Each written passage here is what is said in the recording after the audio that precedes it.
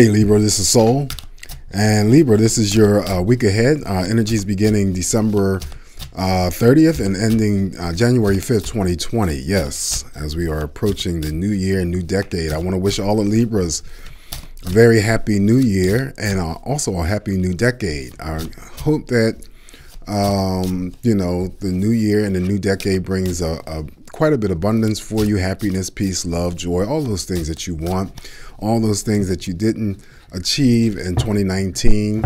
Uh, and, you know, may they come to you in 2020. Uh, and I also want to throw in here, too, that, you know, with all the positive affirmations I'm throwing out there to you, uh, and this is not to take away from those things, but you know we are going to be, uh, you know, met with some challenges. It wouldn't be uh, possible if we didn't uh, have challenges to confront us uh, and you know for us to deal with. But if you are, you know, uh, whether they're on a major scale, minor scale, you know, just say to yourself, this too shall pass. Nothing lasts forever, uh, and you will overcome that. Okay, so I'm just um, throwing that out there to you, uh, Libra. I am using the uh, Marchetti Tarot deck to deliver your messages.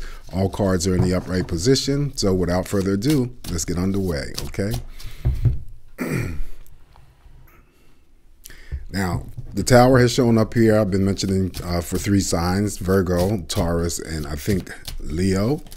Um, excuse me, I'm going to use this card that turned over for you, and it's part of your energy. It's the Ace of Swords. So that might be in line with the new year, the start of something new.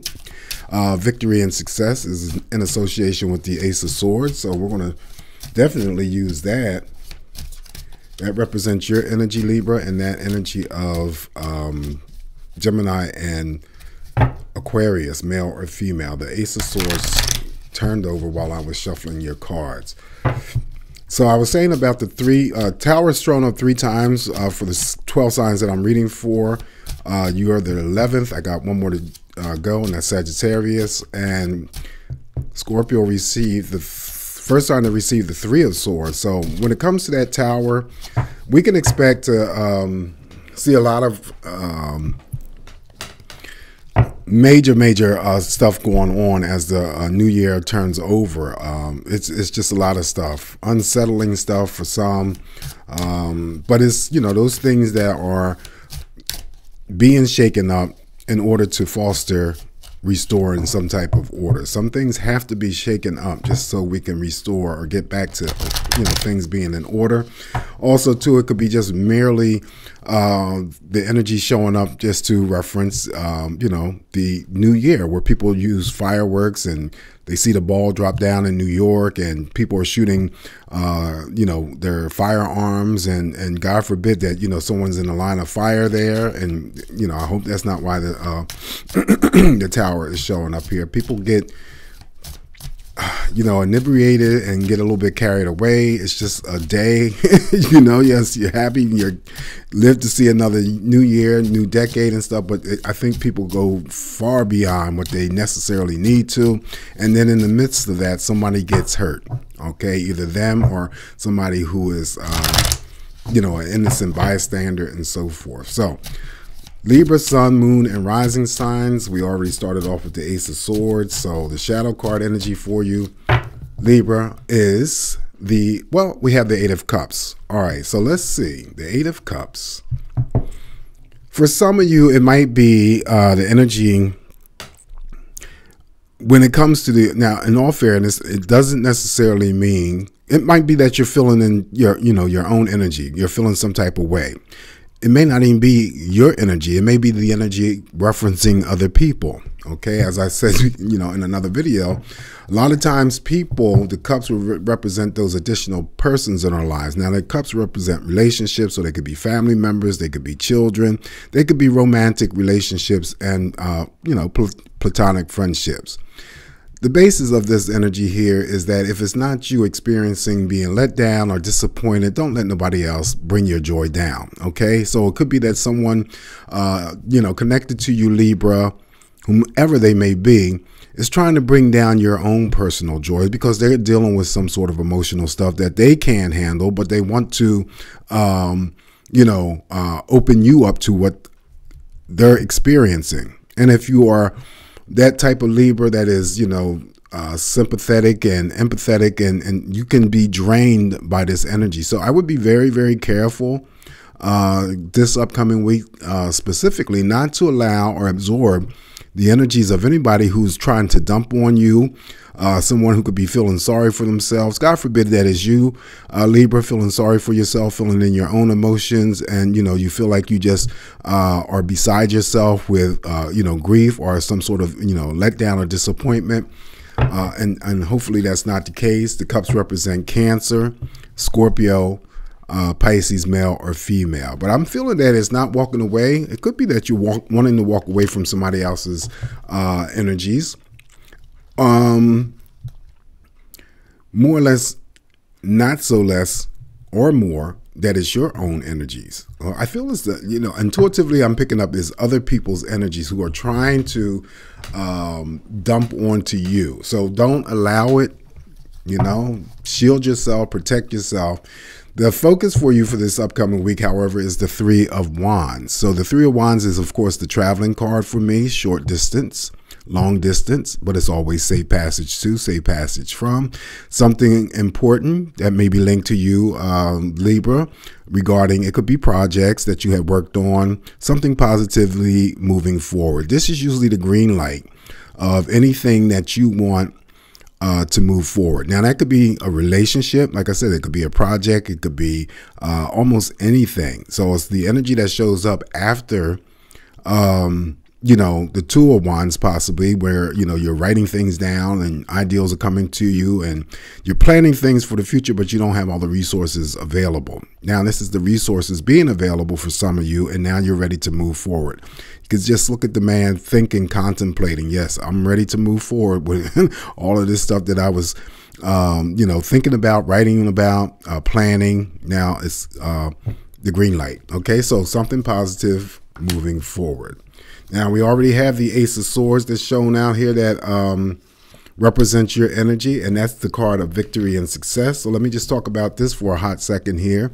This is a card of victory and success, determination, um, wanting to be more adventurous, wanting to start something more exciting, and of course, what would be more befitting than to start something more adventurous or exciting as the new year and the new decade opens up for us. Okay, so we have the Ace of Swords here, victory and success, clearing up any confusion, contrasting energies, uh, uncertainties, and then being very, very determined in terms of making decisions. Um, but positive decisions and taking actions and moves in the right directions, hopefully. All right, so that is your card that popped out here. And your focus is the Three of Wands.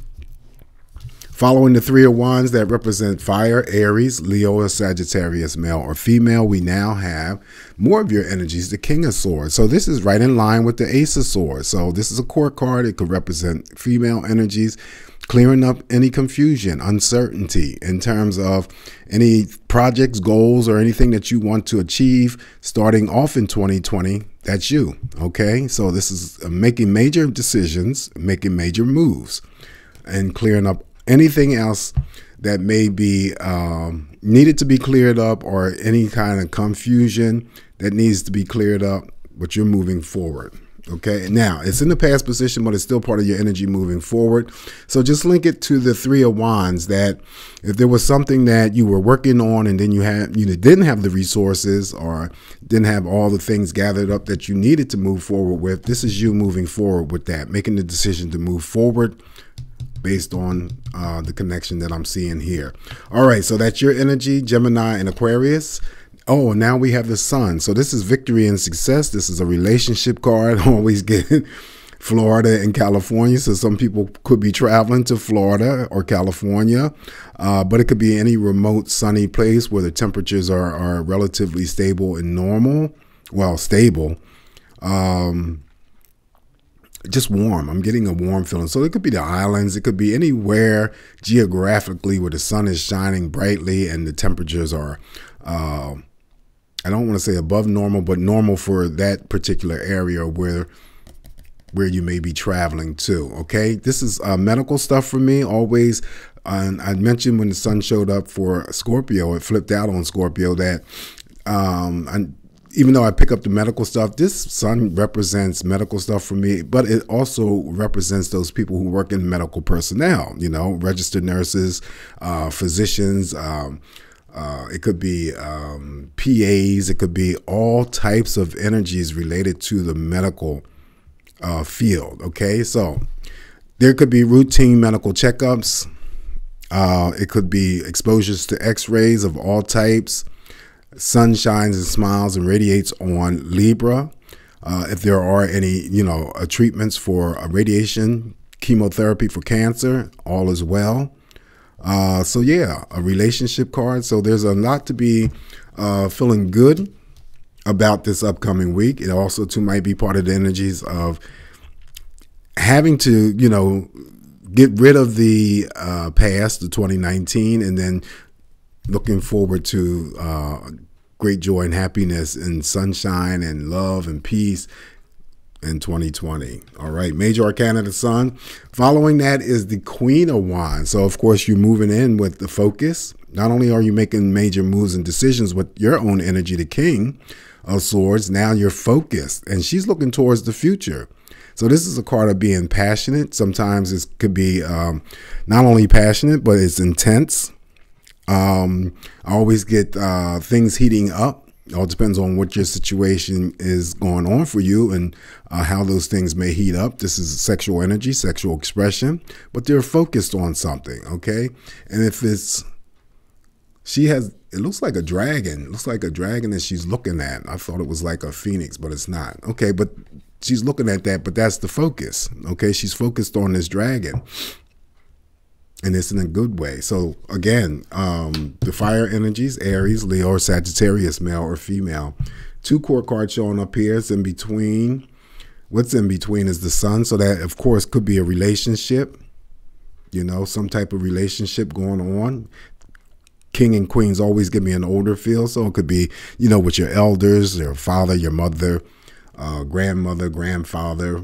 Could be traveling to see your mother, your grandma, yeah, your your mother, your grandmother, your grandfather, your your father, uh, but it's all good. But it also could indicate other types of relationship exchanges or interactions. Following the um, Okay, Queen of Wands. Now we have the Page of Wands. So this is good news and surprises coming in. This is a court card, so it could be the actual carrier. This person could be the bearer or the carrier of some good news or surprises for Libra. Uh, this is a, a, young energy, so um, this is a card of being uh, also inspired. So starting some sort of inspiration. Again, it's in line with the new year. It's being inspired to start something new. Ace of Swords is showing up here for your energy. Someone wants to be uh, starting up something new or bring some sort of excitement or something adventurous into their lives, uh, shaking the doldrums of 2019 and moving into uh, more um, I would say a fluent 2020, or at least the beginning, a very uh, affluent or prosperous 2020.